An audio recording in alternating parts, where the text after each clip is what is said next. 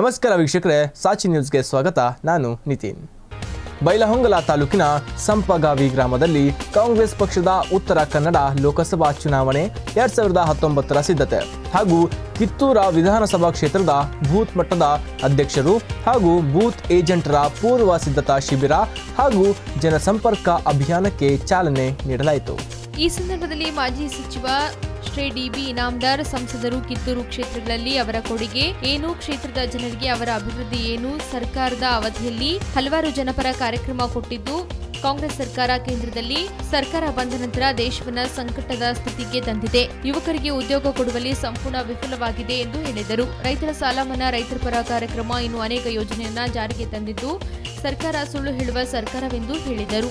ಈ ಸಂದರ್ಭದಲ್ಲಿ ಸಭಾಪತಿ ಮಾತನಾಡಿ, ಅರವತ್ತು ವರ್ಷಗಳಲ್ಲಿ ಕಾಂಗ್ರೆಸ್ ದೇಶವನ್ನ ಕಟ್ಟಿ ಬೆಳೆಸಿದೆ ಸ್ವಾತಂತ್ರ್ಯ ಚಳವಳಿ ಭಾಗವಹಿಸಿದ್ದು, ಕಾಂಗ್ರೆಸ್ ಸಂಸ್ಥಾನಗಳನ್ನ ಒಗ್ಗೂಡಿಸಿ ದೇಶ ಕಟ್ಟಿದ್ದು ಕಾಂಗ್ರೆಸ್ ಎಂದು ಹೇಳಿದರು. ನೇಸರ್ಗೆ ಬ್ಲಾಕ್ ಅಧ್ಯಕ್ಷರು ಮಾತನಾಡಿ, ಸಂಸದರು ಕಿತ್ತೂರು ಕ್ಷೇತ್ರಗಳಲ್ಲಿ ಇವರ ಕೊಡುಗೆ ಏನು? ದೇಶಕ್ಕೆ ಡಿಜಿಟಲ್ ತಂತ್ರಜ್ಞಾನ ಕೊಟ್ಟಿದ್ದು. ವಿಮಾನ ಬಿಡಿಭಾಗಗಳನ್ನು ತಯಾರಿಸುವ ಘಟಕ ತೆರೆದಿದ್ದರು ಕಾಂಗ್ರೆಸ್ ಇಸ್ರೋ ಬಾಹ್ಯಾಕಾಶ ಕೇಂದ್ರ ಮಾಡಿದ್ದು. ಕಾಂಗ್ರೆಸ್ ವಿವಿಧ ಸಾಧನೆಯನ್ನ ದೇಶಕ್ಕೆ ಹಾಗೂ ಜಗತ್ತಿಗೆ ತೋರಿಸಿಕೊಟ್ಟಿದ್ದು ಕಾಂಗ್ರೆಸ್ ಎಂದು ಹೇಳಿದರು. ಈ ಸಂದರ್ಭದಲ್ಲಿ Shri D B Inamdar Bangari Hiremath, Prakash Gowda Patil V Sabhapati Sanjeev, Lokapur, Balasaheb Desai ವಿವಿಧ ಮುಖಂಡರು ಉಪಸ್ಥಿತರಿದ್ದರು.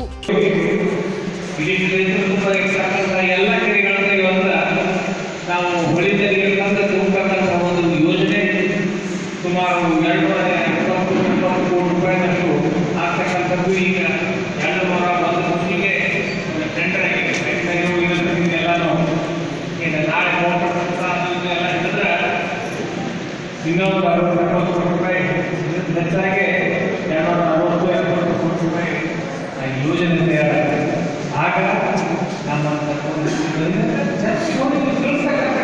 ನಾವೆಲ್ಲ ಮಾಡಿದ್ದೇವೆ ಅವ್ರೇನು ಮಾಡಿದ್ರು ಹದಿನೈದು ಲಕ್ಷ ಕೊಡ್ತಾರ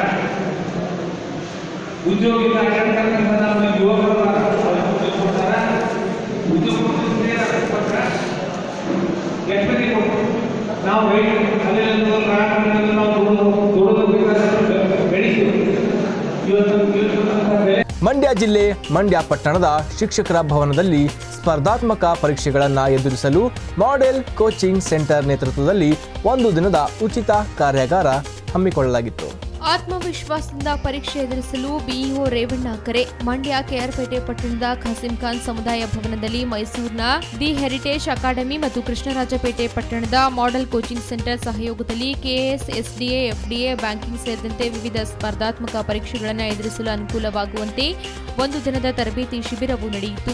ಕಾರ್ಯಕ್ರಮವನ್ನು ಉದ್ಘಾಟಿಸಿದ ಕ್ಷೇತ್ರ ಶಿಕ್ಷಣಾಧಿಕಾರಿ ಎಸ್ ರೇವಣ್ಣ ಅವರು ಮಾತನಾಡಿ ಯುವಜನರು ಆತ್ಮವಿಶ್ವಾಸನ ಸ್ಪರ್ಧಾತ್ಮಕ ಪರೀಕ್ಷೆಗಳನ್ನು ಎದುರಿಸಿ ಜೀವನದಲ್ಲಿ ಯಶಸ್ಸು ಗಳಿಸಬೇಕು ಜೀವನದಲ್ಲಿ ಎದುರಾಗುವ ಸಮಸ್ಯೆಗಳಿಗೆ ಹೆದರಿ ಪಲಾಯನವಾಗುವುದನ್ನು ಅನುಸರಿಸದೆ ಧೈರ್ಯದಿಂದ ಮುನ್ನಡೆದು ಗುರಿ ಮುಟ್ಟಬೇಕು.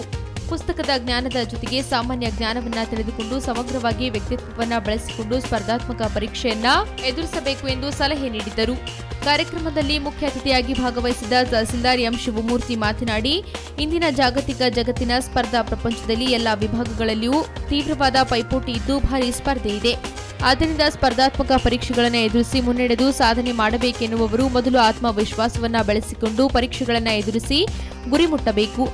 ಸೋಲಿಗೆ ಹೆದರದೆ ಸೋಲನ್ನೇ ಗೆಲುವಿನ ಮೆಟ್ಟಿಲುಗಳನ್ನಾಗಿಸಿಕೊಂಡು ಸಾಧನೆ ಮಾಡುವ ಮೂಲಕ ಶ್ರೇಷ್ಠ ಸಾಧಕರಾಗಿ ಹೊರಹೊಮ್ಮಬೇಕು ಎಂದು ಕಿವಿಮಾತು ಹೇಳಿದರು. ಕಾರ್ಯಕ್ರಮದಲ್ಲಿ ಮಾಡೆಲ್ ಕೋಚಿಂಗ್ ಸೆಂಟರ್ನ ವ್ಯವಸ್ಥಾಪಕ ಆರ್ಎಸ್ ಪದ್ಮನಾಭ್, ಮೈಸೂರಿನ ಹೆರಿಟೇಜ್ ಕೋಚಿಂಗ್ ಸೆಂಟರ್ನ ತರಬೇತುದಾರ ಯತೀಶ್ ಮತ್ತಿತರರು ಶಿಬಿರದಲ್ಲಿ ಭಾಗವಹಿಸಿದ ಯುವ ಜನರಿಗೆ ತರಬೇತಿ ಮಾರ್ಗದರ್ಶನ ನೀಡಿದರು.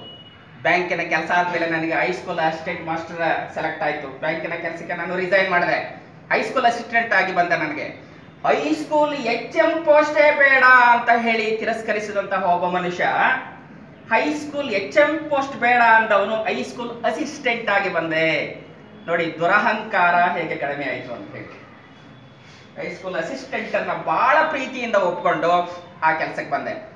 ಆ ನಂತರ ಮತ್ತೆ ಯಾವ ಕೆ ಇ ಎಸ್ ಅನ್ನ ನಾನು ಬರೆಯಲ್ಲ ಅಂತ ನಾನು ತಿರಸ್ಕಾರ ಮಾಡಿದ್ನೋ, ಆ ಪರೀಕ್ಷೆಯ ಮತ್ತೊಮ್ಮೆ ಕಾಲ ಆಯಿತು ಮಂಡ್ಯ ಜಿಲ್ಲೆ, ಮಂಡ್ಯ ಪಟ್ಟಣದ ಅಕ್ಕಿ ಹೆಬ್ಬಾಳು ಹೋಬಳಿಯ ಸೋಮನಾಥಪುರ ಗ್ರಾಮದ ಹೊರವಲಯದ ಬಳಿ ತೆಂಗಿನ ಮರವೇರಿ ಕುಳಿತ ಚಿರತೆ.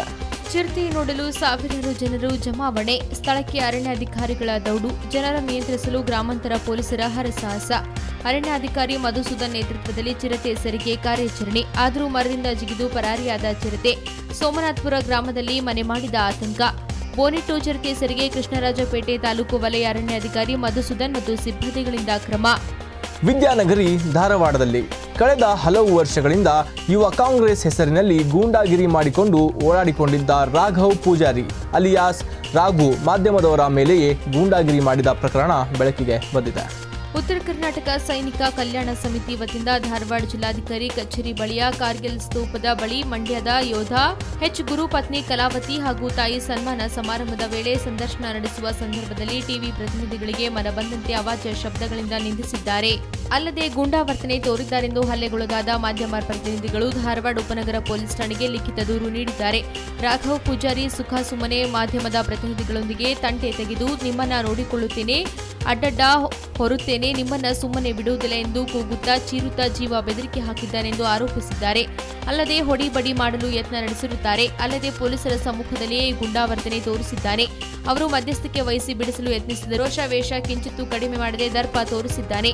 ಸದರಿಯವರನ್ನ ಹೀಗೆ ಬಿಟ್ಟದ್ದಲ್ಲಿ ಮುಂದೆ ಗಂಭೀರ ಸ್ವರೂಪದ ಗುನ್ನೆಗಳನ್ನ ಮಾಡಬಹುದಾಗಿದೆ ಎಂದು ಆತಂಕ ವ್ಯಕ್ತಪಡಿಸಿದ್ದಾರೆ. ದಯವಿಟ್ಟು ಪೊಲೀಸ್ ಆಯುಕ್ತರು ಈ ವಿಷಯವನ್ನ ಜರೂರು ಎಂದು ಪರಿಗಣಿಸಿ, ಕಾನೂನು ರೀತಿ ಸೂಕ್ತ ಕ್ರಮ ಜರುಗಿಸಿ ಮಾಧ್ಯಮ ಪ್ರತಿನಿಧಿಗಳಿಗೆ ಸೂಕ್ತ ರಕ್ಷಣೆ ಹಾಗೂ ಭದ್ರತೆ ನೀಡಬೇಕೆಂದು ಮನವಿ ಮಾಡಿದ್ದಾರೆ.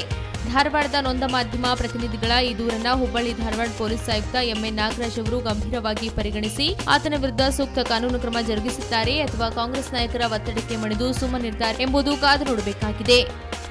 ಅಥಣಿ ತಾಲೂಕಿನ ನದಿ ಇಂಗಳಗಾವಿಯಲ್ಲಿ ನಿನ್ನೆ ಅದಮ್ಯ ಫೌಂಡೇಶನ್ ಉದ್ಘಾಟನಾ ಸಮಾರಂಭ ಹಾಗೂ ಫೌಂಡೇಶನ್ ವತಿಯಿಂದ ಬಡ ಅಂಗವಿಕಲ ಮಕ್ಕಳಿಗೆ ಉಚಿತ ವೀಲ್ ಚೇರ್ ವಿತರಣಾ ಸಮಾರಂಭ ನಡೆಯಿತು. ನದಿ ಇಂಗಳಗಾವಿಯ ಶಿವಯೋಗಿ ಮಠದಲ್ಲಿ ನಡೆದ ಈ ಕಾರ್ಯಕ್ರಮವನ್ನು ವಿಧಾನ ಪರಿಷತ್ತಿನ ಸದಸ್ಯ ಹನುಮಂತ ನಿರಾಣಿ ಉದ್ಘಾಟನೆ ಮಾಡಿದರು. ನಂತರ ಮಾತನಾಡಿದ ಅವರು, ಸಮಾಜದಲ್ಲಿ ಸಾವಿರಾರು ಎನ್ಜಿಒ ಕೆಲಸ ಮಾಡುತ್ತಿದ್ದರೂ ನಿಜವಾದ ಸಾಮಾಜಿಕ ಕಳಕಳಿ ಇಲ್ಲದಂತಾಗಿದೆ. ಅದಮ್ಯ ಫೌಂಡೇಶನ್ ಪಂಚಸೂತ್ರಗಳಿಂದ ಕಾರ್ಯನಿರ್ವಹಿಸಲಿದ್ದು, ಸಮಾಜದ ಎಲ್ಲಾ ವರ್ಗದ ಜನರನ್ನ ತಲುಪಿಸುವ ಇವರ ಉದ್ದೇಶ ಉತ್ತಮವಾಗಿದೆ ಎಂದರು. ಅದಮ್ಯ ಫೌಂಡೇಶನ್ ವತಿಯಿಂದ ಬಡ ಅಂಗವಿಕಲ ಮಕ್ಕಳಿಗೆ ವೀಲ್ ಚೇರ್ ವಿತರಣೆ ಮಾಡಿದ ಧಾರವಾಡದ ಮಲ್ಲಿಕಾರ್ಜುನ ಸ್ವಾಮೀಜಿ ಮಾತನಾಡಿ, ಅದಮ್ಯ ಫೌಂಡೇಶನ್ ಉದ್ಘಾಟನೆಯಲ್ಲಿ ಅಂಗವಿಕಲ ಮಕ್ಕಳಿಗೆ ಸಹಾಯಸ್ತ ನೀಡಿದ್ದು ಅವರ ಸಾಮಾಜಿಕ ಕಾರ್ಯ ಶ್ಲಾಘನೀಯ.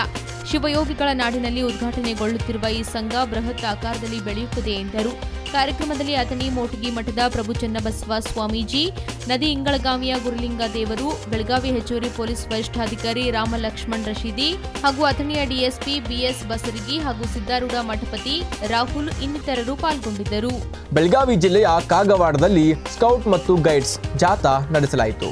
ತಾಲೂಕಿನ ನೂತನ ಸ್ಕೌಟ್ ಮತ್ತು ಗೈಡ್ ಶಾಖೆಯನ್ನ ಗ್ರಾಮ ಪಂಚಾಯತ್ ಅಧ್ಯಕ್ಷೆ ಶ್ರೀದೇವಿ ಚೌಗಲೆ ಹಸಿರು ನಿಶಾನೆ ತೋರಿಸುವುದರ ಮೂಲಕ ಉದ್ಘಾಟನೆ ಮಾಡಿದರು.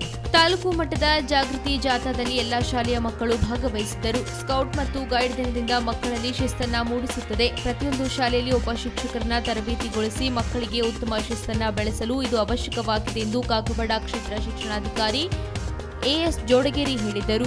ಕಲಬುರಗಿ ಜಿಲ್ಲಾ ಹಿರಿಯ ನಾಗರಿಕರ ಸಂಘ ಸೇರಿದಂತೆ ವಿವಿಧ ಸಂಘಟನೆಗಳ ಸಂಯುಕ್ತಾಶ್ರಯದಲ್ಲಿ ಅಂತಾರಾಷ್ಟ್ರೀಯ ಮಹಿಳಾ ದಿನಾಚರಣೆಯನ್ನ ಆಚರಿಸಲಾಯಿತು. ಕಲಬುರಗಿ ನಗರದ ಸರ್ಕಾರಿ ಮಹಿಳಾ ಪ್ರಥಮ ದರ್ಜೆ ಕಾಲೇಜಿನಲ್ಲಿ ಕಲಬುರಗಿ ಜಿಲ್ಲಾ ಹಿರಿಯ ನಾಗರಿಕ ಸಂಘ ಸರ್ಕಾರಿ ಮಹಿಳಾ ಪ್ರಥಮ ದರ್ಜೆ ಕಾಲೇಜು ಹಾಗೂ ರಾಷ್ಟ್ರೀಯ ಮಾನವ ಅಭಿವೃದ್ಧಿ ಫೌಂಡೇಶನ್, ರಾಮ ಫೌಂಡೇಶನ್ ಸಂಯುಕ್ತ ಆಶ್ರಯದಲ್ಲಿ ಅಂತಾರಾಷ್ಟ್ರೀಯ ಮಹಿಳಾ ದಿನಾಚರಣೆ ಜರುಗಿತು. ಈ ವೇಳೆ ಸಾಮಾಜಿಕ ಜೀವನದಲ್ಲಿ ಸಾಧನೆ ಮಾಡಿದ ಸಾಧಕಿಯರಾದ doctor Seema Deshpande, Shrimati Chandrakala R G Vani, Basantabai Akki ಅವರಿಗೆ ಸನ್ಮಾನಿಸಲಾಯಿತು. ಶ್ರೀಮತಿ ಶಾಂತಾ ಪಸ್ತಾಪುರ್ ಮಾತನಾಡಿದರು. ಈ ಸಂದರ್ಭದಲ್ಲಿ doctor Pratap Singh Tiwari, A Satyanarayan, Sridevi Bhadrakali, Khanderao H Sheela Tiwari, S S Tiwari, Shankar Kodla ಸೇರಿದಂತೆ ಅನೇಕರು ಉಪಸ್ಥಿತರಿದ್ದರು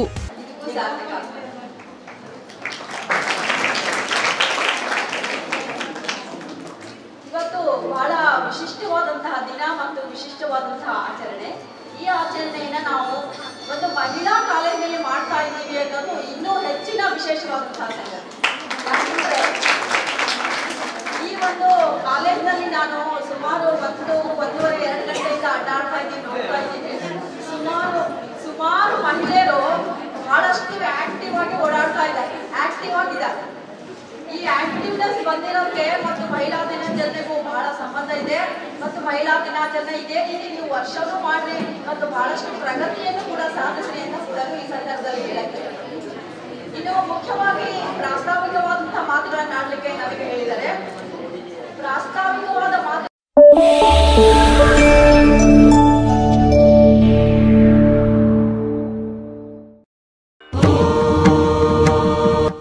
ಶ್ರೀ ಸಾಯಿ ಶಕ್ತಿ ಜ್ಯೋತಿಷ್ಯಾಲಯ. ಪಂಡಿತ್ ಗಣೇಶ್ ಶರ್ಮಾ. ನುಡಿದಂತೆ ನಡೆಯುವರು. ನಂಬರ್ ಒನ್ ವಶೀಕರಣ ಸ್ಪೆಷಲಿಸ್ಟ್. ಅಸಾಧ್ಯವಾದದ್ದು ಇಲ್ಲಿ ಸಾಧ್ಯ. ನಿಮ್ಮ ನಂಬಿಕೆಗೆ ಇಲ್ಲಿ ಮೋಸ ಇಲ್ಲ. ಜೀವನದಲ್ಲಿ ಕಷ್ಟ ನಷ್ಟ ಎಲ್ಲರಿಗೂ ಇದೆ. ಅದಕ್ಕೆ ಸೂಕ್ತ ಪರಿಹಾರ ಪಂಡಿತ್ ಗಣೇಶ್ ಶರ್ಮಾರವರಿಂದ ಮಾತ್ರ ಸಾಧ್ಯ. ಸಮಸ್ಯೆ ನಿಮ್ಮದು, ಪರಿಹಾರ ನಮ್ಮದು. ನಿಮ್ಮ ಸಮಸ್ಯೆಗಳಾದ ವ್ಯಾಪಾರ, ಹಣಕಾಸಿನ ತೊಂದರೆ, ದಾಂಪತ್ಯ ಕಲಹ, ಕೋರ್ಟ್ ಕೇಸ್, ಮಾನಸಿಕ ತೊಂದರೆ, ಸ್ತ್ರೀ ಪುರುಷ ವಶೀಕರಣ, ಮಾಟ ಮಂತ್ರ, ಇನ್ನು ಮುಂತಾದ ನಿಮ್ಮ ಸಮಸ್ಯೆಗಳಿಗೆ ಫೋನಿನ ಮೂಲಕ ಕೇವಲ ಮೂರು ದಿನದಲ್ಲಿ ನೂರಕ್ಕೆ ನೂರ ಒಂದರಷ್ಟು ಶಾಶ್ವತ ಪರಿಹಾರ ಶತಸಿದ್ಧ. ಇವರು ಕೇರಳ ಹಾಗೂ ಕಾಶಿ ನಾಗಸಾಧುಗಳಿಂದ ಸಿದ್ಧಿಸಿ, ಪೂಜಿಸಿ ಮೂರು ದಿನದಲ್ಲಿ ಶಾಶ್ವತ ಪರಿಹಾರ ಮಾಡಿಕೊಡುತ್ತಾರೆ. ವಿಶೇಷ ಸೂಚನೆ, ಮದುವೆಯಲ್ಲಿ ಅಡಚಣೆ, ಸಂತಾನ, ಮನಶಾಂತಿಗಾಗಿ ರಕ್ತ ಕಾಟೇಶ್ವರಿ ಪೂಜೆಯಿಂದ ಹುಣ್ಣಿಮೆ ಅಥವಾ ಅಮಾವಾಸ್ಯ ದಿನದಂದು ಸೂರ್ಯ ಚಂದ್ರ ಗ್ರಹಣದಿಂದ ಸಿದ್ಧಿಸಿ ಸುದರ್ಶನ ಚಕ್ರ ಮಾಡಿ ಕೊಡಲಾಗುವುದು. ಪರಿಹಾರದಲ್ಲಿ ಚಾಲೆಂಜ್. ಇಂದಿಗೂ ಸಾವಿರಾರು ಕುಟುಂಬಗಳು ಗುರೂಜಿ ಅವರಿಂದ ಪರಿಹಾರ ಪಡೆದುಕೊಂಡು ನೆಮ್ಮದಿಯಿಂದ ಜೀವನ ನಡೆಸುತ್ತಿದ್ದಾರೆ. ಕೆಲಸ ಆಗದಿದ್ದರೆ ಹಣ ವಾಪಸ್ ಕೊಡಲಾಗುವುದು. ಒಂದು ಕರೆ ನಿಮ್ಮ ಜೀವನವನ್ನೇ ಬದಲಿಸುತ್ತದೆ. ಹಿಂದೆ ಸಂಪರ್ಕಿಸಿ. ದೂರವಾಣಿ ಸಂಖ್ಯೆ ಒಂಬತ್ತು ಒಂಬತ್ತು ಸೊನ್ನೆ ಸೊನ್ನೆ ಒಂಬತ್ತು ಎರಡು ಒಂದು ಏಳು ಐದು ಐದು.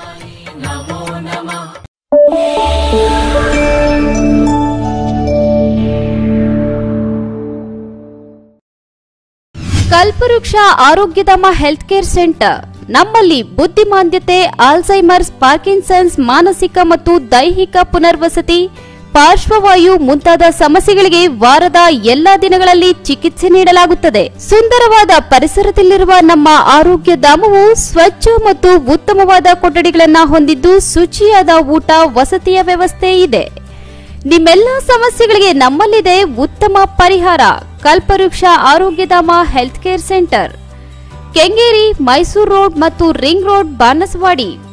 Mobile number nine four eight three three four two six nine five nine six three two nine eight three six nine five nine four four eight two four four six nine five another number nine four eight two three zero two six nine five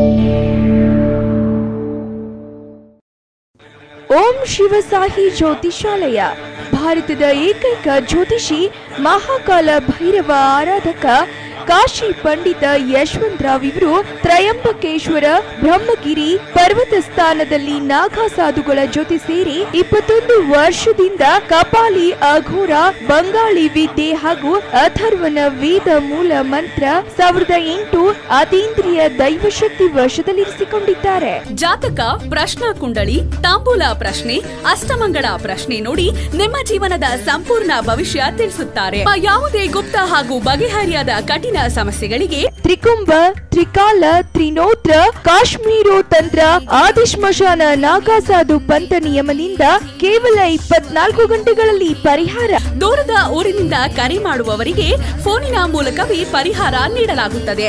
ವಿಶೇಷ ಸೂಚನೆ ಸ್ತ್ರೀ ವಶೀಕರಣ ಪುರುಷ ವಶೀಕರಣ ಗುಪ್ತವಶ ಇಷ್ಟಾರ್ಥ ಸಿದ್ಧಿಗೆ ಕೇವಲ ಇಪ್ಪತ್ನಾಲ್ಕು ಗಂಟೆಗಳಲ್ಲಿ ಪರಿಹಾರ. ಖಾಯಂ ಮನೆ ವಿಳಾಸ ಓಂ ಶಿವಸಾಹಿ ಜ್ಯೋತಿಷಾಲಯ ಖಡೆ ಬಜಾರ್ ಹತ್ತಿರ Kotwal Galli market road Belagavi. Mobile number nine one zero eight five four seven six two five. K R Pete ತಾಲೂಕಿನ ಒಳಗೆರೆ ಮೆಣಸ ಗ್ರಾಮದಲ್ಲಿ ಸಾಲದ ಬಾಧೆಯನ್ನ ತಾಳಲಾರದೆ ಪ್ರಗತಿಪರ ರೈತ. ಜಯಕುಮಾರ್ ನಲವತ್ನಾಲ್ಕು ವರ್ಷ, ನೇಣಿಗೆ ಶರಣಾಗಿದ್ದಾರೆ. ಮುಗಿಲು ಮುಟ್ಟಿದ ಬಂಧುಗಳ ಆಕ್ರಂದನ ಕೃಷ್ಣರಾಜಪೇಟೆ ತಾಲೂಕಿನ ಒಳಗೇರೆ ಮೆಣಸ್ ಗ್ರಾಮದಲ್ಲಿ ಸಾಲದ ಬಾಧೆಯನ್ನ ತಾಳಲಾರದೆ ಪ್ರಗತಿಪರ ರೈತ ನಲವತ್ನಾಲ್ಕು ವರ್ಷದ ಜಯಕುಮಾರ್ ತಮ್ಮ ಮನೆಯಲ್ಲೇ ನೇಣು ಬಿಗಿದುಕೊಂಡು ಆತ್ಮಹತ್ಯೆಗೆ ಶರಣಾಗಿದ್ದಾರೆ. ಒಳಗೇರೆ ಮೆಣಸ ಗ್ರಾಮದ ಅಂಜನೇಗೌಡರ ಪುತ್ರ ಜಯಕುಮಾರ್ ತಮ್ಮ ಆರು ಎಕರೆ ಕೃಷಿ ಭೂಮಿಯಲ್ಲಿ ಕಬ್ಬು ಮತ್ತು ಬಾಳೆಯನ್ನ ಬೆಳೆದಿದ್ದರು. ಕೊಳವೆ ಬಾವಿಯು ವಿಫಲವಾಗಿ ನೀರಿಲ್ಲದ ಕಾರಣ ಬೆಳೆಯು ಒಣಗಾಗಿದ್ದು ಲಕ್ಷಾಂತರ ರೂಪಾಯಿ ನಷ್ಟ ಸಂಭವಿಸಿದೆ. ಆರು ಕೊಳವೆ ಬಾವಿಯನ್ನ ಕೊರೆಸಲು ಹಾಗೂ ಬೇಸಾಯ ಮಾಡಲು ಲಕ್ಷಾಂತರ ರೂಪಾಯಿ ಕೈಸಾಲ ಸೇರಿದಂತೆ ಅಗ್ರಹಾರ ಬಾಚಹಳ್ಳಿ ವ್ಯವಸಾಯ ಸಹಕಾರ ಸಂಘದಲ್ಲಿ ಒಂದು ಲಕ್ಷ ರೂಪಾಯಿ ಹಾಗೂ ಕೆಆರ್ಪೇಟೆ ಪಟ್ಟಣದ ಕಾರ್ಪೊರೇಷನ್ ಬ್ಯಾಂಕ್ನಲ್ಲಿ ಆರು ಲಕ್ಷ ರೂಪಾಯಿ ಸಾಲವನ್ನ ಮಾಡಿದ್ದು ಸಾಲಗಾರರ ಕಾಟವು ಹೆಚ್ಚಾದ ಹಿನ್ನೆಲೆಯಲ್ಲಿ ಮನನೊಂದ ಜಯಕುಮಾರ್ ಮುಂಜಾನೆ ತಮ್ಮ ಮನೆಯಲ್ಲಿ ಆತ್ಮಹತ್ಯೆಗೆ ಕೊರಳೊಡ್ಡಿದ್ದಾರೆ. ಮೃತರು ಪತ್ನಿ ಅನಿತಾ, ಪುತ್ರ ಪುತ್ರಿ ಸೇರಿದಂತೆ ಅಪಾರ ಬಂಧು ಬಳಗವನ್ನು ಅಗಲಿದ್ದಾರೆ ಘಟನೆಯ ಬಗ್ಗೆ ಪಟ್ಟಣ ಪೊಲೀಸ್ ಠಾಣೆಯಲ್ಲಿ ಪ್ರಕರಣ ದಾಖಲಾಗಿದೆ. ಮೃತದೇಹವನ್ನ ಪಟ್ಟಣದ ದುಂಡಶೆಟ್ಟಿ ಲಕ್ಷ್ಮಮ್ಮ ಸ್ಮಾರಕ ಸಾರ್ವಜನಿಕ ಆಸ್ಪತ್ರೆಯಲ್ಲಿ ಮರಣೋತ್ತರ ಪರೀಕ್ಷೆಗಾಗಿ ಇಡಲಾಗಿದೆ. ಶವಾಗಾರದ ಬಳಿ ಸಾವಿರಾರು ಜನರು ಜಮಾಯಿಸಿದ್ದು ಮೃತರ ಬಂಧುಗಳ ಆಕ್ರಂದನ ಮುಗಿಲು ಮುಟ್ಟಿದೆ. ಮಂಡ್ಯ ಜಿಲ್ಲೆ, ಮಂಡ್ಯ ಪಟ್ಟಣದಲ್ಲಿ ಸಾಲದ ಬಾಧೆ ತಾಳಲಾರದೆ ಮಂಡ್ಯ ಬಾಂಬಳ್ಳಿ ಗ್ರಾಮದ ರೈತ ಪ್ರಸನ್ನ ಪಟ್ಟಣದ ಎಪಿಎಂಸಿ ಆವರಣದಲ್ಲಿ ವಿಷ ಕುಡಿದು ಸಾವಿಗೆ ಶರಣಾಗಿದ್ದಾರೆ.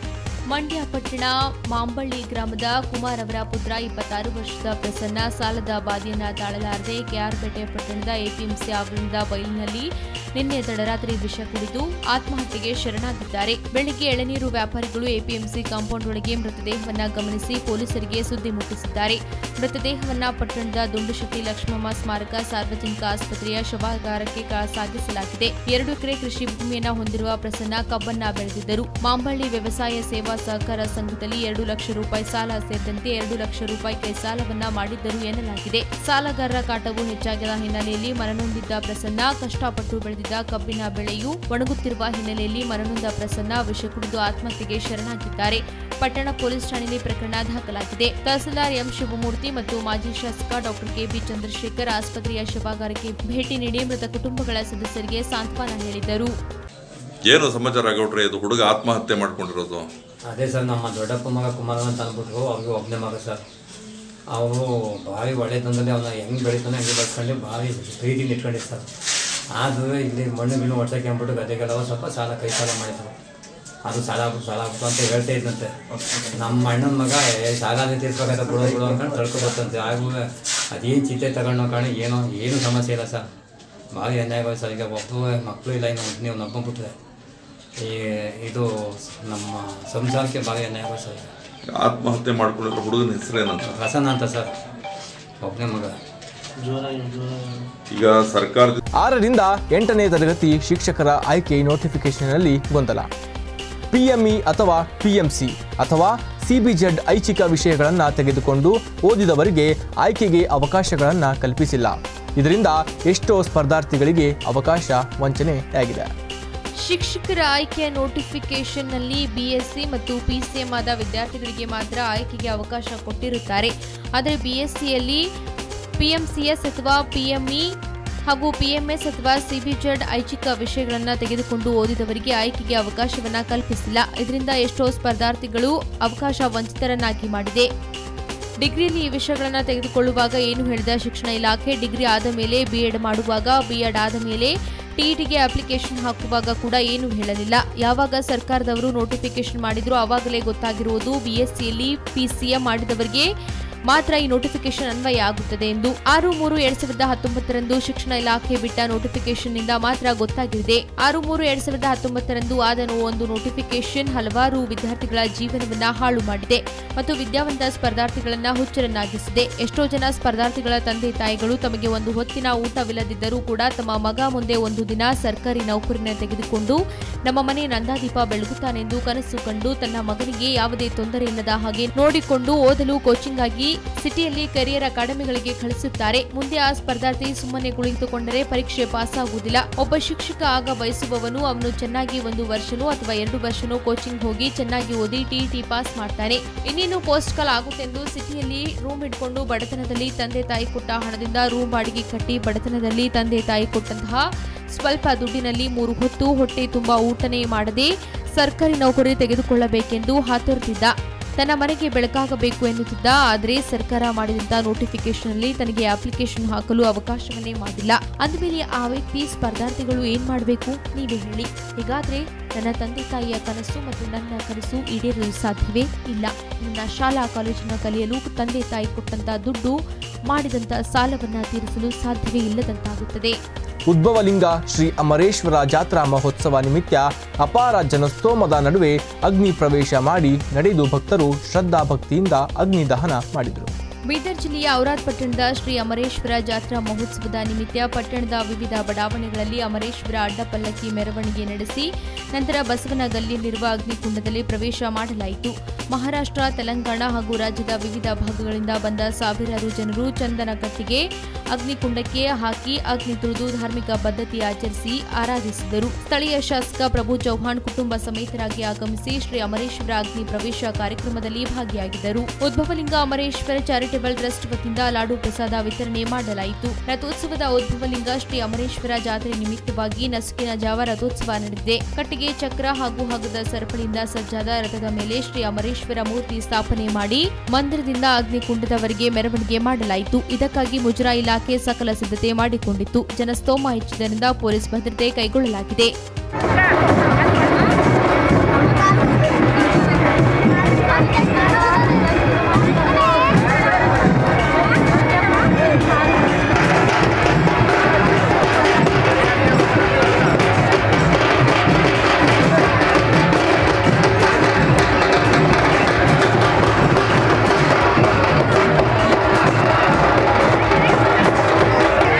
ರಾಯಚೂರು ಜಿಲ್ಲೆ ಮಾನ್ವಿ ತಾಲೂಕಿನ ಮದ್ಲಾಪುರ ಗ್ರಾಮದಲ್ಲಿ ಭಾರತೀಯ ಜೈನ ಸಮಾಜ ಹಾಗೂ ಧರ್ಮಸ್ಥಳ ಗ್ರಾಮ ಅಭಿವೃದ್ಧಿ ಸಂಸ್ಥೆ ಸಹಯೋಗದಲ್ಲಿ ಮಾನ್ವಿ ತಾಲೂಕಿನ ಕೆರೆಗಳ ಹೂಳು ಎತ್ತುವ ಕಾರ್ಯಕ್ರಮ ಕಾಮಗಾರಿಗೆ ಶಾಸಕ ರಾಜ ವೆಂಕಟಪ್ಪ ನಾಯಕ ಚಾಲನೆ ನೀಡಿದರು. ಶಾಸಕ ರಾಜ ವೆಂಕಟಪ್ಪ ನಾಯಕ್ ಚಾಲನೆ ನೀಡಿ ಮಾತನಾಡಿ ರೈತರ ಅನುಕೂಲಕ್ಕಾಗಿ ಮಾನವಿ ತಾಲೂಕಿನ ಉಳಿದ ಕವಿತಾಳ್ ನವಲ್ಕಲ್ ನಾರಾಬಂಡ ಪೋತ್ನಾಳ್ ಗ್ರಾಮದ ಈ ಭಾಗದಲ್ಲಿ ಕೆರೆ ಹೂಳು ಎತ್ತುವ ಕಾರ್ಯಕ್ರಮ ಹಮ್ಮಿಕೊಳ್ಳಲಾಗಿದ್ದು, ಇದಕ್ಕೆ ಸ್ಥಳೀಯ ಅಧಿಕಾರಿಗಳು ಸಹಕಾರ ನೀಡಬೇಕು ಎಂದರು. ಇದರಿಂದ ಗ್ರಾಮದಲ್ಲಿ ಐವತ್ತಾರು ಎಕರೆ ಭೂಮಿ ಕೆರೆಯಿಂದ ನೀರಾವರಿ ಆಗಲಿದೆ. ಹೂಳು ಎತ್ತುವುದರಿಂದ ಬೇಸಿಗೆ ಕಾಲದಲ್ಲಿ ಕೆರೆ ನೀರು ರೈತರಿಗೆ ಹಾಗೂ ಜಾನುವಾರುಗಳಿಗೆ ಉಪಯೋಗವಾಗಲಿದೆ ಎಂದು ಹೇಳಿದರು. ಈ ಸಂದರ್ಭದಲ್ಲಿ ತಾಲೂಕು ಪಂಚಾಯತಿಯ ಕಾರ್ಯನಿರ್ವಾಹಕ ಅಧಿಕಾರಿ ಶಶಿಕಾಂತ್ ಶಿವಪುರಿ ಸಹಾಯಕ ಕೃಷಿ ನಿರ್ದೇಶಕ ನಜೀರ್ ಅಹಮದ್, ತಾಲೂಕು ಪಂಚಾಯತ್ ಸಹ ನಿರ್ದೇಶಕ ಉಮೇಶ್, ಸಣ್ಣ ನೀರಾವರಿ ಸಹಾಯಕ ಇಂಜಿನಿಯರ್ ಶರಣಪ್ಪ, ಪುರಸಭೆ ಸದಸ್ಯ ಶರಣಪ್ಪ ಮೇದ್ ಜೆಡಿಎಸ್ ಯುವ ಮುಖಂಡ Raja Ramachandra Nayak, J D S taluk ಅಧ್ಯಕ್ಷ ಮಲ್ಲಿಕಾರ್ಜುನ್ ಪಾಟೀಲ್, ಗೋಪಾಲ್ ನಾಯಕ್, ಧರ್ಮಸ್ಥಳ ಗ್ರಾಮೀಣ ಅಭಿವೃದ್ಧಿ ಸಂಸ್ಥೆಯ ಪಾಂಡ್, ಭಾರತೀಯ ಜೈನ್ ಸಮಾಜದ ಮುಖಂಡರಾದ ಕಮಲ್ ಕುಮಾರ್, ಅಜಿತ್ ಜೈನ್, ಗೌತಮ್ ಜೈನ್ ಮತ್ತು ಜೈನ್ ಸಂತೋಷ್ ಇನ್ನಿತರರು ಉಪಸ್ಥಿತರಿದ್ದರು. ಐದು ಗ್ರಾಮಗಳಿಗೆ ಇವತ್ತು ನಾವು ಸೆಲೆಕ್ಟ್ ಆಗಿದ್ದಾವೆ. ಆ ನಿಟ್ಟಿನಲ್ಲಿ ಮೊಟ್ಟ ಮೊದಲಾಗಿ ನಾವು ಬದಲಾಪುರ ಗ್ರಾಮನ್ನ ಇವತ್ತು ಸೆಲೆಕ್ಟ್ ಮಾಡಿದೀವಿ ಇವತ್ತ. ಈ ಒಂದು ಗ್ರಾಮದ ಕೆರೆ ಉಳಿಸುವ ಕಾರ್ಯಕ್ರಮವನ್ನು ಇವತ್ತ ಪೂಜಾ ಕಾರ್ಯಕ್ರಮದೊಂದಿಗೆ ಇವತ್ತು ಪ್ರಾರಂಭ ಮಾಡಿದ್ವಿ. ಇವತ್ತ ಈಗಾಗಲೇ ನಮ್ಮ ಕಮಲ್ ಸೇಠ್ ಅವರು ಹೇಳಿದ್ರು ಇದರ ಉಪಯೋಗ ಏನೇನು? ಇದು ಯಾವ ರೀತಿ ಕೆಲಸ ಕಾರ್ಯಗಳು ನಡೀತಾವೆ ಇದರಿಂದ ಅಂತೇಳಿ ನಮಗೆಲ್ಲ ರೈತರಿಗೆ ತಿಳಿಸ್ಕೊಟ್ಟಿದ್ದಾರೆ. ಈಗ ಜೆ ಸಿ ಬಿ ಅವೆಲ್ಲ ವರ್ಕ್ ಎಲ್ಲ, ಅವರೆಲ್ಲ ಅವ್ರ ಮಿಷನ್ಗಳೆಲ್ಲ ಅವ್ರು ಬಿಡ್ತಾರೆ ಡೀಸೆಲ್ ನಮ್ಮ ಅಗ್ರಿಕಲ್ಚರ್ ಡಿಪಾರ್ಟ್ಮೆಂಟ್ ಆಗುತ್ತೆ ಈಗ ನೀವೇನ್ ಮಾಡ್ಬೇಕು ರೈತರೆಲ್ಲ ಸೇರಿ ಎಲ್ಲ ರೈತರು ಒಂದೊಂದು ಗಾಡಿಗಳು ಬಿಟ್ಟು ಈಗಾಗಲೇ ಹೇಳಿದ್ರು ಕಟ್ಟನೂರು ಸಕಲೇಶ್ಪುರ್ನಲ್ಲಿ ಬಹಳಷ್ಟು ರೈತರು. ರೈತರ ಒಂದು ಸಹಕಾರದಿಂದಲೇ ಏನೇ ಕೆಲಸ ಕಾರ್ಯಗಳು ಸರ್ಕಾರದಿಂದ ಏನಿಲ್ಲ ಇಲ್ಲಿ. ಈ ಅಗ್ರಿಕಲ್ಚರ್ ಡಿಪಾರ್ಟ್ಮೆಂಟ್ನವರು ಬರೀ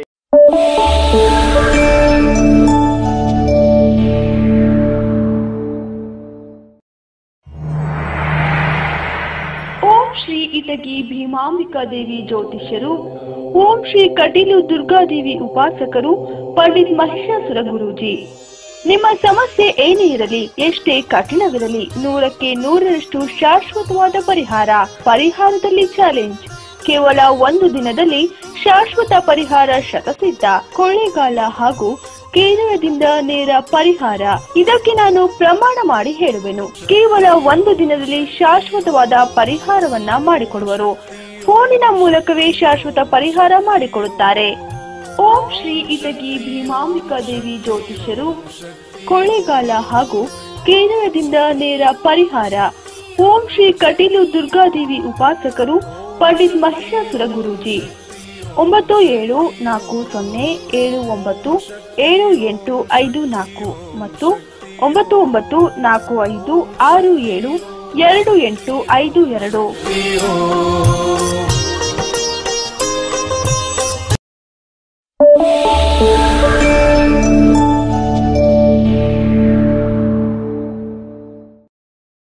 ಶ್ರೀ ರಾಘವೇಂದ್ರ ಜ್ಯೋತಿಷ್ಯಾಲಯ, ಕಷ್ಟಕಾಲದಲ್ಲಿ ಕಾಮಧೇನು. ನಿಮ್ಮ ಸಮಸ್ಯೆಗಳಿಗೆ ಇಲ್ಲಿದೆ ಪರಿಹಾರದ ಮಾರ್ಗಮಂದಿರ ಶ್ರೀ ರಾಘವೇಂದ್ರ ಜ್ಯೋತಿಷ್ಯಾಲಯ, ಪಂಡಿತ್ ಶ್ರೀ ಪಿ ಎಂ ಶರ್ಮಾ. ನಂಬಿಕೆ ಇಲ್ಲದಿದ್ದರೆ ಅಮೃತ ಕೂಡ ವಿಷವಾಗುತ್ತದೆ. ಕಷ್ಟ, ನಷ್ಟ ಎಲ್ಲರ ಜೀವನದಲ್ಲಿ ಇರುತ್ತದೆ. ದೇವರ ಶಕ್ತಿಯ ಮುಂದೆ ಯಾವ ಶಕ್ತಿಯೂ ದೊಡ್ಡದಲ್ಲ. ಆದರೆ ಸಮಸ್ಯೆಗಳಿಗೆ ಅದರದೇ ಆದ ಪರಿಹಾರ ಇರುತ್ತದೆ. ನಿಮ್ಮ ಯಾವುದೇ ಸಮಸ್ಯೆಗಳಿಗೆ ಕೆಲವೇ ದಿನಗಳಲ್ಲಿ ಪರಿಹಾರ ಶತಸಿದ್ಧ. ಸಮಸ್ಯೆಗಳಾದ ವಿದ್ಯೆ ಉದ್ಯೋಗ ಇನ್ನಿತರ ಕಠಿಣ ಗುಪ್ತ ಸಮಸ್ಯೆಗಳಿಗೆ ಕೆಲವೇ ದಿನಗಳಲ್ಲಿ ಪರಿಹಾರ ಮಾಡಿಕೊಡುತ್ತಾರೆ. ವಿಶೇಷ ಸೂಚನೆ ಧನವಶ ಜನವಶ ಶತ್ರುನಾಶ ಸ್ತ್ರೀ ಪುರುಷ ಪ್ರೇಮ ಸ್ತಂಭನ ದಿಗ್ಬಂಧನ ಉಚ್ಚಾಟನಾಧಾಂತ ಸಮಸ್ಯೆಗಳಿಗೆ ಶ್ರೀ ರಾಘವೇಂದ್ರ ಸ್ವಾಮಿಯ ಸರ್ವಾಭಿಷ್ಟ ಸಿದ್ಧಿಯ ದೈವಿಕ ಪೂಜಾ ಶಕ್ತಿಯಿಂದ ಪರಿಹಾರ ಶತಸಿದ್ಧ. ಶ್ರೀ ರಾಘವೇಂದ್ರ ಜ್ಯೋತಿಷಾಲಯದಿಂದ ನಿಮ್ಮ ಸಮಸ್ಯೆಗಳಿಗೆ ದೂರವಾಣಿಯ ಮುಖಾಂತರ ಪರಿಹಾರ ಖಚಿತ. ಪಂಡಿತ್ ಪಿ ಎಂ ಶರ್ಮಾ, ದೂರವಾಣಿ ಸಂಖ್ಯೆ nine seven three one two five six two four six. ಒಂಬತ್ತು ಏಳು ಮೂರು ಒಂದು ಎರಡು ಐದು ಆರು ಎರಡು ನಾಲ್ಕು ಆರು.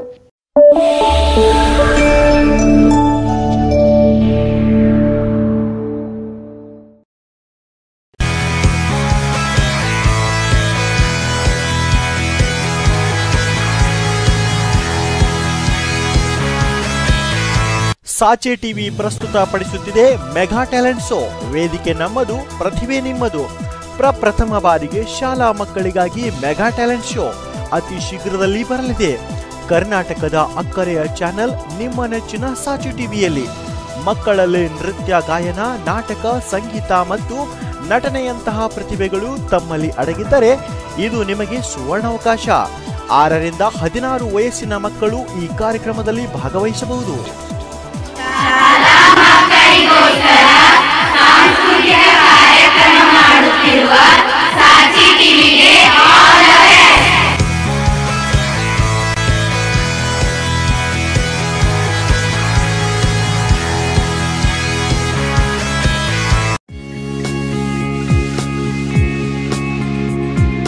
ಯಪ್ಪ ಏನಿದು? ಯಾವುದು ಚಾನಲ್ಸ್ ಬರ್ತಾನೆ ಇಲ್ಲ. ಹೇ ಇಲ್ಲಿ ಕೊಡು ಬರಲ್ಲ ನಾ ಹಚ್ಕೊಡ್ತೀನಿ. ನಿಂಗೆ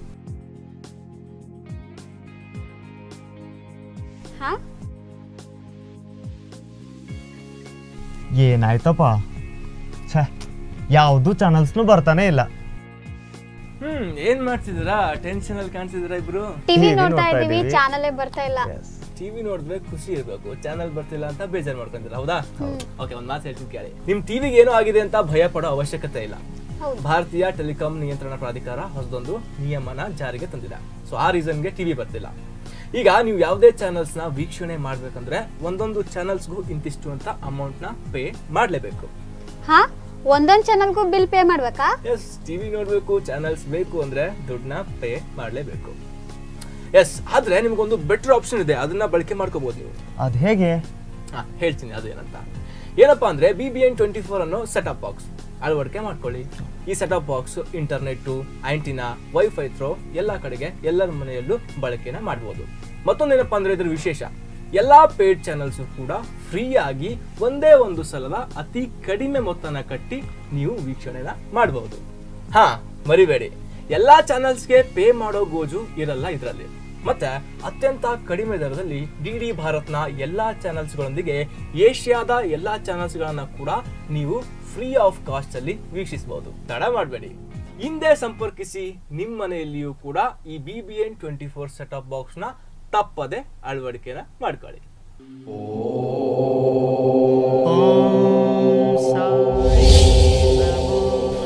ಓಂ ಶ್ರೀ ಸಾಯಿ ಬ್ರಹ್ಮಾಂಡ ಜ್ಯೋತಿಷ್ಯ. ದುರ್ಗಾದೇವಿ ಆರಾಧಕರು, ಪಂಡಿತ್ ದುರ್ಗಾ ಪ್ರಸಾದ್ ಜೀವನದಲ್ಲಿ ಹೇಳಿಕೊಳ್ಳಲಾಗದ ಕಷ್ಟ ಸಂಕಷ್ಟಗಳಿಂದ ನೊಂದು ಜೀವನವೇ ಬೇಸರವಾಗಿದೆಯಾ? ಗೆಲುವಿಗೆ ಪರಿತಪಿಸಿ ಜೀವನದಲ್ಲಿ ಸೋಲುತ್ತಿದ್ದೀರಾ? ಚಿಂತಿಸುವ ಅವಶ್ಯಕತೆ ಇಲ್ಲ. ಒಂದು ಕರೆ ನಿಮ್ಮ ಜೀವನವನ್ನೇ ಬದಲಾಯಿಸುತ್ತದೆ. ನಿಮ್ಮ ಸಮಸ್ಯೆಗಳಾದ ವಿದ್ಯೆ, ಉದ್ಯೋಗ, ಮದುವೆ, ಸಂತಾನ ಸಮಸ್ಯೆ, ದಾಂಪತ್ಯ ಕಲಹ, ಅತ್ತೆ ಸೊಸೆ ಕಲಹ, ಸಾಲದ ಬಾಧೆ, ಶತ್ರುಕಾಟ, ಮಾಟ ಮಂತ್ರ, ಸ್ತ್ರೀ ಪುರುಷ ವಶೀಕರಣ, ಕೋರ್ಟ್ ಕೇಸ್, ಭೂಮಿ ವಿಚಾರ. ಇನ್ನು ನಿಮ್ಮ ಯಾವುದೇ ಸಂಕಷ್ಟಗಳಿಗೆ, ಸಮಸ್ಯೆಗಳಿಗೆ ವಿಶ್ಲೇಷಿಸಿ, ಅದಕ್ಕೆ ಕಾಶಿ ತಾಂತ್ರಿಕ ಅಗೋರಿ ನಾಗಸಾಧುಗಳ ವಿಶೇಷ ಪ್ರಯೋಗಗಳಾದ ಮಹಾರುದ್ರ ಪೂಜೆ ಮಂಡಲ ಪೂಜೆ ಅಷ್ಟದಿಗ್ಬಂಧನ ಪುರಾತನ ರಕ್ತೇಶ್ವರಿ ರಹಸ್ಯ ಯಂತ್ರ ಮಂತ್ರ ದೈವಶಕ್ತಿಗಳಿಂದ ಒಂಬತ್ತು ದಿನಗಳಲ್ಲಿ ಶಾಶ್ವತ ಪರಿಹಾರ ಮಾಡಿಕೊಡುತ್ತಾರೆ ಗುರೂಜಿಯವರು ಸಾವಿರಾರು ಜನರ ದುಃಖವನ್ನು ಆನಂದವಾಗಿ ಪರಿವರ್ತಿಸಿದ್ದಾರೆ ಒಂದು ದಿವ್ಯ ಕರೆ ನಿಮ್ಮ ಜೀವನವನ್ನೇ ಬದಲಾಯಿಸುತ್ತದೆ ಫೋನಿನ ಮೂಲಕ ಶಾಶ್ವತ ಪರಿಹಾರ ಮಾಡಿಕೊಡುತ್ತಾರೆ ಸಕಲ ಇಷ್ಟಾರ್ಥ ಸಿದ್ಧಿಗಾಗಿ ಹಿಂದೆ ಕರೆ ಮಾಡಿ ದೂರವಾಣಿ ಸಂಖ್ಯೆ ಒಂಬತ್ತು ಆರು ಎಂಟು ಆರು ಎರಡು ಸೊನ್ನೆ ಎಂಟು ಐದು ಐದು ಎರಡು. ಚಿತ್ತಾಪುರ ತಾಲೂಕಿನ ಐತಿಹಾಸಿಕ ಅಸಂಖ್ಯಾತ ಭಕ್ತರ ಮನೆದೇವರಾದ ಕೋರವಾರದ ಅಣಿವೀರ ಭದ್ರೇಶ್ವರರ ರಥೋತ್ಸವವು ಬಹು ವಿಜೃಂಭಣೆಯಿಂದ ಜರುಗಿತು. ಕಲ್ಯಾಣ ಕರ್ನಾಟಕದ ಆರಾಧ್ಯ ದೈವ ಎಂದೇ ಪ್ರಖ್ಯಾತಿ ಹೊಂದಿರುವ ಕಾಳಗಿ ತಾಲೂಕಿನ ಸುಕ್ಷಿತ್ರ ಕೋರುಬಾರ ಅಣವೀರ ಭದ್ರೇಶ್ವರ ರಥೋತ್ಸವವು ಬಹು ವಿಜೃಂಭಣೆಯಿಂದ ಜರುಗಿತು. ಮುಜರಾ ಇಲಾಖೆ ಹಾಗೂ ಧಾರ್ಮಿಕ ದತ್ತಿ ಇಲಾಖೆ ಒಳಪಡುವ ಈ ದೇವಸ್ಥಾನಕ್ಕೆ ನಮ್ಮ ರಾಜ್ಯವಲ್ಲದೆ ಆಂಧ್ರಪ್ರದೇಶ ತೆಲಂಗಾಣ ಮತ್ತು ಮಹಾರಾಷ್ಟ್ರ ರಾಜ್ಯಗಳಿಂದ ಸಾವಿರಾರು ಭಕ್ತರು ಆಗಮಿಸಿ ಕಾರಿಕನಾರು ಬಾಳೆಹಣ್ಣು, ತೆಂಗಿನಕಾಯಿ ಸಮರ್ಪಿಸಿ ಅಣವೀರ ಭದ್ರೇಶ್ವರರ ಕೃಪೆಗೆ ಪಾತ್ರರಾದರು. ಅಗ್ನಿಕುಂಡದಲ್ಲಿ ಐದು ಅಡಿ ಎತ್ತರದಷ್ಟು ಕಟ್ಟಿಗೆ ಹಾಕಿ ಬೆಂಕಿ ಹಚ್ಚಲಾಗುತ್ತದೆ. ಎಲ್ಲಾ ಕಟ್ಟಿಗೆ ಸುಟ್ಟು ಅಗ್ನಿಕುಂಡದಲ್ಲಿ ಕನಿಷ್ಠ ಎರಡು ಅಡಿಯಷ್ಟು ಉಳಿಯುವ ಕೆಂಡದಲ್ಲಿ ಭಕ್ತರು ನಡೆಯುವ ಮೂಲಕ ಅಗ್ನಿ ಪ್ರವೇಶ ಮಾಡುವ ದೃಶ್ಯ ನೋಡುಗರಿಗೆ ರೋಮಾಂಚನ ಉಂಟು ಮಾಡಿತ್ತು ಇಲ್ಲಿನ ಈ ಅಗ್ನಿ ಪ್ರವೇಶದ ಪದ್ಧತಿ ತುಂಬಾ ವಿಶೇಷವಾದದ್ದು. ಇಡೀ ಕಲಬುರಗಿ ಜಿಲ್ಲೆಯಲ್ಲಿಯೇ ಎಲ್ಲಿಯೂ ಇಷ್ಟೊಂದು ಪ್ರಮಾಣದ ಅಗ್ನಿಕೆಂಡ ಇರುವುದಿಲ್ಲ ಎನ್ನುತ್ತಾರೆ ದೇವಸ್ಥಾನದ ಭಕ್ತರು. ಜಾತ್ರೆ ನಿಮಿತ್ತ ರಥೋತ್ಸವಕ್ಕೂ ಮೂರು ದಿನ ಮೊದಲಿನಿಂದಲೇ ಅಣವೀರ ಭದ್ರೇಶ್ವರ ಮೂರ್ತಿಗೆ ಸತತ ಧಾರಾಭಿಷೇಕ, ರುದ್ರಾಭಿಷೇಕ ನಡೆಯುವುದು. ಬುಧವಾರ ರಾತ್ರಿ ಹನ್ನೊಂದು ಗಂಟೆಗೆ ಅಣವೀರ ಭದ್ರೇಶ್ವರ ಪಲ್ಲಕ್ಕಿಯ ಜೊತೆಗೆ ಪುರವಂತರು ಅಗ್ನಿ ಪ್ರವೇಶ ಮಾಡುವರು. ನಂತರ ಆಗಮಿಸಿ ಭಕ್ತಾದಿಗಳು ಬೆಳಿಗ್ಗೆ ಐದು ಗಂಟೆವರೆಗೆ ಅಗ್ನಿ ಪ್ರವೇಶ ಮಾಡಿದರು. ರಥೋತ್ಸವಕ್ಕೂ ಮೊದಲು ಸಾಯಂಕಾಲ ನಾಲ್ಕು ಗಂಟೆಗೆ ನಂದಿ ಧ್ವಜ ಮತ್ತು ಕುಂಭ ಕಳಸ ಭವ್ಯ ಮೆರವಣಿಗೆಯು ಕೋರುವಾರ ಗ್ರಾಮದಿಂದ ಹೊರಟು ಸುಮಾರು ನಾಲ್ಕು ಕಿಲೋಮೀಟರ್ ಕ್ರಮಿಸಿ ಅಣವೀರ ಭದ್ರೇಶ್ವರ ದೇವಸ್ಥಾನ ತಲುಪಿತು. ರಥೋತ್ಸವದ ನಂತರ ಮದ್ದು ಸುಡುವ ಕಾರ್ಯಕ್ರಮ ಅದ್ದೂರಿಯಾಗಿ ಜರುಗಿತು.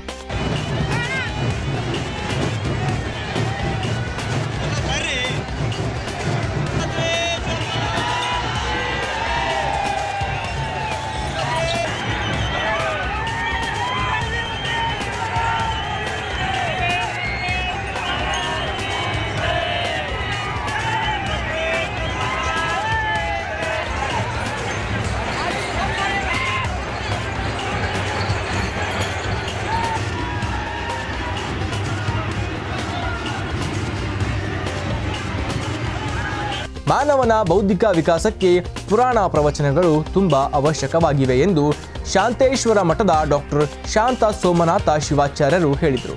ಕಾಳಗಿ ತಾಲೂಕಿನ ಟೆಂಗಳಿಯ ಶ್ರೀ ಶಾಂತೇಶ್ವರ ಮಠದಲ್ಲಿ ಶ್ರೀ ಜಗದ್ಗುರು ರೇಣುಕಾಚಾರ್ಯ ಜಯಂತ್ಯೋತ್ಸವದ ನಿಮಿತ್ತ ಹುಬ್ಬಳ್ಳಿಯ ಶ್ರೀ ಸಿದ್ದಾರೂಢರ ಪುರಾಣ ಪ್ರವಚನ ಕಾರ್ಯಕ್ರಮ ಉದ್ಘಾಟಿಸಿ ಮಾತನಾಡಿದ ಅವರು, ಇಂದಿನ ಕಂಪ್ಯೂಟರ್ ಯುಗದ ಭರಾಟೆಯಲ್ಲಿ ಧಾರ್ಮಿಕ ಪರಂಪರೆ, ಸಂಸ್ಕೃತಿ ಮರೆಯಲಾಗುತ್ತಿದೆ.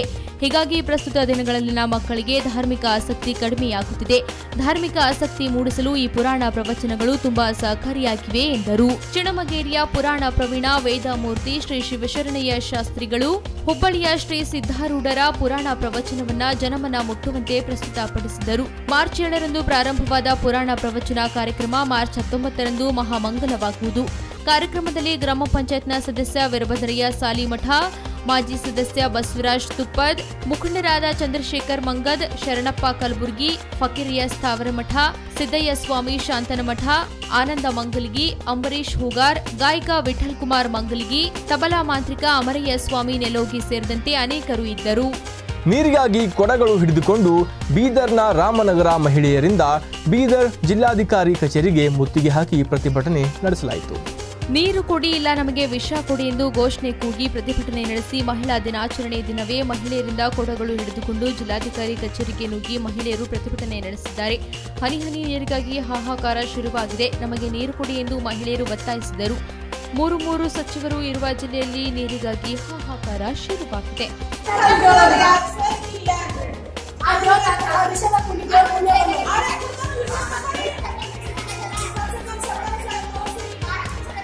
ಇವತ್ತ ಮಹಿಳಾ ದಿನಾಚರಣೆ. ಹೆಣ್ಮಕ್ಳಿಗೆ ಏನ್ ನ್ಯಾಯ ಸಿಗೋದು ನೀರಿಗೋಸ್ಕರ ರೋಡಿಗೆ ಬಂದ ಹೆಣ್ಮಕ್ಳು. ಇದು ಮಹಿಳಾ ದಿನಾಚರಣೆ. ಇವತ್ತಿನ ಸ್ಪೆಷಲ್ ಡೇ ನೀರಿಗೋಸ್ಕರ ರೋಡಿಗೆ ಬಂದಂತ ಹೆಣ್ಮಕ್ಳು ಮಹಿಳಾ ದಿನದಿಂದ. ಏನ್ ನ್ಯಾಯ ಅದ ಇದು ಹಾಕಿ ನಮ್ಗಾಗದ? ಕಾರಣ ಬೇಕು ನಮಗೆ ಏನಾರ ಬೇಕು. ಯಾರು ಚೈತ್ರ ಬರ್ತದೆ? ರಾಮನಗರ. ಕಾಂಗ್ರೆಸ್ ಮುಖಂಡ ಬೇಲೂರು ಗೋಪಾಲಕೃಷ್ಣ ಅವರು ಪ್ರಧಾನಿ ನರೇಂದ್ರ ಮೋದಿ ಅವರನ್ನ ಗುಂಡಿಕ್ಕಿ ಕೊಲ್ಲುತ್ತೇವೆ ಎಂದು ಹೇಳಿಕೆ ನೀಡಿರುವುದು ಖಂಡನೀಯವಾಗಿದೆ. ಅಲ್ಲದೆ ಕಾಂಗ್ರೆಸ್ ಪಕ್ಷದ ಮುಖಂಡರಿಗೆ ಮಾಧ್ಯಮದಲ್ಲಿ ಕಾಣಿಸಬೇಕೆಂದು ಹಪಾಹಪಿ ಜಾಸ್ತಿ ಇದೆ. ಈ ಹಿನ್ನೆಲೆಯಲ್ಲಿ ಬೇಕಾಬಿಟ್ಟಿ ಹೇಳಿಕೆ ನೀಡುತ್ತಿದ್ದಾರೆ ಎಂದು ಸಂಸದ ಪ್ರಹ್ಲಾದ್ ಜೋಶಿ ಕಾಂಗ್ರೆಸ್ ವಿರುದ್ಧ ವಾಗ್ದಾಳಿ ನಡೆಸಿದ್ದಾರೆ. ಹುಬ್ಬಳ್ಳಿ ನಗರದಲ್ಲಿ ಮಾಧ್ಯಮದ ಜೊತೆ ಮಾತನಾಡಿದ ಅವರು, ಕಾಂಗ್ರೆಸ್ ಮುಖಂಡ ಬೇಲೂರು ಗೋಪಾಲಕೃಷ್ಣ ಅವರ ಹೇಳಿಕೆಗೆ ತಿರುಗೇಟು ನೀಡಿದ್ದಾರೆ. ವಿಶ್ವವೇ ಮೋದಿ ಅವರಿಗೆ ಗೌರವ ಕೊಡುತ್ತಿದೆ ಆದರೆ ಕೆಲವೊಂದು ಕಾಂಗ್ರೆಸ್ ಮುಖಂಡರು ಅದರಲ್ಲೂ ಬೇಲೂರು ಗೋಪಾಲಕೃಷ್ಣ ಕೀಳು ಮಟ್ಟದಲ್ಲಿ ಹೇಳಿಕೆ ನೀಡಿದ್ದಾರೆ. ಈ ಕುರಿತು ಬಹಿರಂಗವಾಗಿ ಕ್ಷಮೆಯಾಚನೆ ಮಾಡಬೇಕು ಎಂದರು.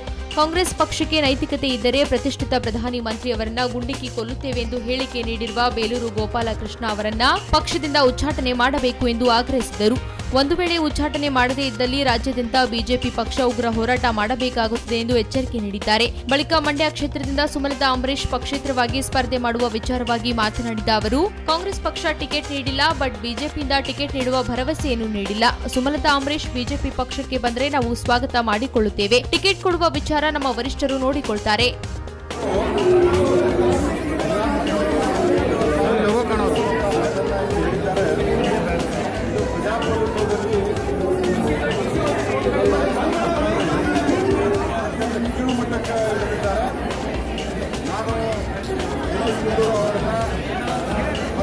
ಬೀದರ್ ಜನರು ಆಸೆ ಪಟ್ಟು ಚುನಾವಣೆ ನಿಲ್ಲು ಎಂದರೆ ನಾನು ಲೋಕಸಭಾ ಚುನಾವಣೆಗೆ ಸ್ಪರ್ಧಿಸಲು ಸಿದ್ಧ ಎಂದು ಕೆಪಿಸಿಸಿ ಕಾರ್ಯಾಧ್ಯಕ್ಷ ಈಶ್ವರ್ ಖಂಡ್ರೆ ಹೇಳಿದ್ದಾರೆ.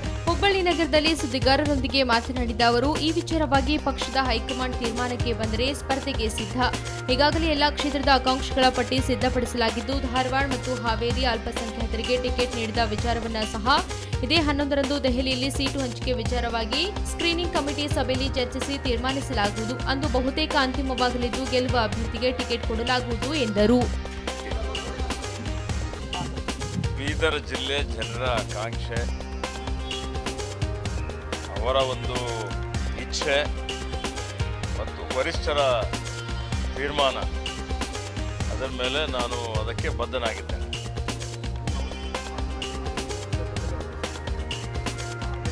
ಲೋಕಸಭಾ ಚುನಾವಣಾ ಹಿನ್ನೆಲೆ ಕಾಂಗ್ರೆಸ್ ಪ್ರಚಾರದ ಬೃಹತ್ ಸಮಾವೇಶಕ್ಕೆ ರಾಹುಲ್ ಗಾಂಧಿ ಮಾರ್ಚ್ ಒಂಬತ್ತರಂದು ಹಾವೇರಿಯಿಂದ ಚಾಲನೆ ನೀಡಲಿದ್ದಾರೆ ಎಂದು ಕೆಪಿಸಿಸಿ ಅಧ್ಯಕ್ಷ ದಿನೇಶ್ ಗುಂಡೂರಾವ್ ಹೇಳಿದರು. ಹುಬ್ಬಳ್ಳಿಯಲ್ಲಿ ಪತ್ರಿಕಾಗೋಷ್ಠಿಯಲ್ಲಿ ಮಾತನಾಡಿದ ಅವರು, ಸಮಾವೇಶದಲ್ಲಿ ಒಂದು ಪಾಯಿಂಟ್ ಐದು ಲಕ್ಷಕ್ಕೂ ಅಧಿಕ ಜನ ಭಾಗವಹಿಸುವ ನಿರೀಕ್ಷೆ ಇದೆ. ಕಾಂಗ್ರೆಸ್ ಮುಖಂಡರಾದ ವೇಣುಗೋಪಾಲ್, ಮಲ್ಲಿಕಾರ್ಜುನ್ ಖರ್ಗೆ, ಸಿದ್ದರಾಮಯ್ಯ ಸೇರಿದಂತೆ ಪ್ರಮುಖ ನಾಯಕರು ಭಾಗಿಯಾಗುವರು ಎಂದರು. ಕಾಂಗ್ರೆಸ್ನಲ್ಲಿ ಈಗಾಗಲೇ ಅಭ್ಯರ್ಥಿಗಳ ಒಂದು ಪಟ್ಟಿಯನ್ನು ಬಿಡುಗಡೆ ಮಾಡಲಾಗಿದ್ದು, ಇದು ಅಂತಿಮ ತೀರ್ಮಾನ ಅಲ್ಲ. ಬರುವ ಮಾರ್ಚ್ ಹನ್ನೊಂದಕ್ಕೆ ದೆಹಲಿಯಲ್ಲಿ ಸ್ಕ್ರೀನಿಂಗ್ ಕಮಿಟಿ ಸಭೆಯಲ್ಲಿ ಚರ್ಚಿಸಿ ಅಂತಿಮ ತೀರ್ಮಾನ ತೆಗೆದುಕೊಳ್ಳಲು ನಿರ್ಧಾರ ಮಾಡಲಾಗುತ್ತದೆ ಎಂದು ಹೇಳಿದರು. ಧಾರವಾಡ ಜಿಲ್ಲೆಗೆ ಗೆಲ್ಲುವ ಅಭ್ಯರ್ಥಿಗೆ ಟಿಕೆಟ್ ನೀಡುತ್ತೇವೆ. ಈ ಚುನಾವಣೆಯನ್ನು ಗಂಭೀರವಾಗಿ ಪರಿಗಣಿಸಿದ್ದೇವೆ, ಎಂದರು. ರಫೇಲ್ ಮೊದಲೇ ಬಂದಿದ್ದರೆ ಇನ್ನೂ ಹೆಚ್ಚಿನ ಪ್ರಮಾಣದಲ್ಲಿ ಅಟ್ಯಾಕ್ ಮಾಡುತ್ತಿದ್ದೇವೆ ಎಂದು ಪ್ರಧಾನಿ ಮೋದಿ ಅವರು ಯಾವ ಉದ್ದೇಶವನ್ನ ಇಟ್ಟುಕೊಂಡು ಹೇಳಿದ್ದಾರೆಂದು ಗೊತ್ತಿಲ್ಲ. ನಾಲ್ಕೂವರೆ ವರ್ಷದಲ್ಲಿ ಮೋದಿ ಸಾಧನೆ ಶೂನ್ಯ. ಈ ಹಿನ್ನೆಲೆಯಲ್ಲಿ ಮೊದಲು ರಾಮ ಮಂದಿರ ಪ್ರಸ್ತಾಪ ಮಾಡಿದ್ದರೂ ಅದು ವರ್ಕೌಟ್ ಆಗಲಿಲ್ಲ. ಹೀಗಾಗಿ ದೇಶದ ಸುರಕ್ಷತೆ ನೆಪ ಇಟ್ಟುಕೊಂಡು ಚುನಾವಣೆ ಸಿದ್ಧತೆ ನಡೆಸುತ್ತಿದ್ದಾರೆ. ರಫೇಲ್ನಲ್ಲಿ ನೆಗೋಸಿಯೇಟ್ ಮಾಡಿಕೊಂಡಿದ್ದ ಬಗ್ಗೆ ಬಹಿರಂಗವಾಗಿದೆ. ಬಿಕೆ ಹರಿಪ್ರಸಾದ್ ಹೇಳಿಕೆನ ಪರಿಗಣಿಸುವುದಿಲ್ಲ. ಅವರು ಹಾಸ್ಯವಾಗಿ ಹೇಳಿರಬಹುದು. ಬಿಜೆಪಿಯವರು ದೇಶ ಪ್ರೇಮವನ್ನ ಗುತ್ತಿಗೆ ಪಡೆದಿಲ್ಲ. ದಿಗ್ವಿಜಯ್ ಸಿಂಗ್ ಹೇಳಿಕೆ ತಪ್ಪಾಗಿ ಅರ್ಥೈಸಲಾಗಿದೆ ಎಂದು ಕೆಪಿಸಿಸಿ ಅಧ್ಯಕ್ಷ ದಿನೇಶ್ ಗುಂಡೂರಾವ್ ಹೇಳಿದರು.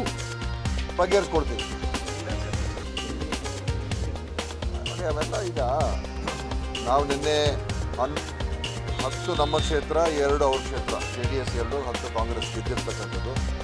ಅದರ ಬಗ್ಗೆ ನಾವು ಚರ್ಚೆ ಮಾಡೋಕ್ಕೆ ಹೋಗಿಲ್ಲ. ಪ್ರದೇಶ ಚುನಾವಣೆ ಸಮಿತಿಯಲ್ಲಿ. ಆದ್ದರಿಂದ ಆ ವಿಚಾರದ ಬಗ್ಗೆ ನಾವು ಮೈತ್ರಿಯಲ್ಲಿ ಇರೋದ್ರಿಂದ, ಎಲ್ಲಿ ನಾವು ಗೆದ್ದಿದ್ದೇವೆ, ಎಲ್ಲಿ ಅವ್ರಿಗೆ ಅವ್ರು ಗೆದ್ದಿದ್ದಾರೆ, ಅದ್ರ ಬಗ್ಗೆ ನಾವು ಚರ್ಚೆ ಮಾಡೋದು ಬೇಡ ಅಂತ ನಾವು ತೀರ್ಮಾನ ತಗೊಂಡಿದ್ದೀವಿ. ನಮ್ಮ ರಾಜ್ಯದ ಶಕ್ತಿ ಕೇಂದ್ರಗಳ ಕಾರ್ಯಾಗಾರ ನಡೆಯುತ್ತಿದೆ. ಇವತ್ತು ಹುಬ್ಬಳ್ಳಿಯಲ್ಲಿ ಏಳು ಲೋಕಸಭಾ ಕ್ಷೇತ್ರಗಳ ಕಾರ್ಯಾಗಾರ ನಡೆಯುತ್ತದೆ. ನಮ್ಮ ಕೇಂದ್ರದ ಉಸ್ತುವಾರಿ ಮುರಳೀಧರ್ ರಾವ್ ಹಾಗೂ ಸಂಘಟನಾ ಪ್ರಧಾನ ಕಾರ್ಯದರ್ಶಿ ಬಿಎಲ್ ಸಂತೋಷ್ ರವರು ಭಾಗಿಯಾಗಲಿದ್ದಾರೆ ಎಂದು ಬಿಜೆಪಿ ಮುಖಂಡ ಅರವಿಂದ್ ಲಿಂಬಾವಳಿ ಹೇಳಿದ್ದಾರೆ. ಹುಬ್ಬಳ್ಳಿ ವಿಮಾನ ನಿಲ್ದಾಣದಲ್ಲಿ ಬಿಜೆಪಿ ಮುಖಂಡ ಅರವಿಂದ ಲಿಂಬಾವಳಿ ಮಾತನಾಡಿ ಈಗಾಗಲೇ ಬೆಂಗಳೂರು ಬಳ್ಳಾರಿ ಹಾಸನದಲ್ಲಿ ಉಳಿದಂತೆ ಈಗ ಮುಕ್ತಾಯವಾಗಿದೆ. ಇದು ಕೊನೆ ಹಂತದ ಕಾರ್ಯಾಗಾರವಾಗಿದೆ. ಹಾಗಾಗಿ ಇವತ್ತು ಇಲ್ಲಿಗೆ ಬಂದಿದ್ದೇವೆಂದು ಲಿಂಬಾವಳಿ ಹೇಳಿದರು.